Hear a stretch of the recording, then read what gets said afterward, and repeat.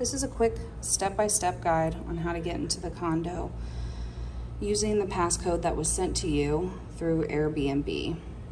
That passcode will be sent to you the day of your arrival. The code that I will be putting in will be different than your own code while you are staying with us. Come up to the door, hit the Yale sign, type in the passcode that was sent, hit the check button. That will open the door, just like that. And that will let you in and out through your stay. When you are leaving, it will automatically lock within three minutes. However, if you wanna lock it right after you leave the condo, just hold on to that Yale door sign and it automatically locks.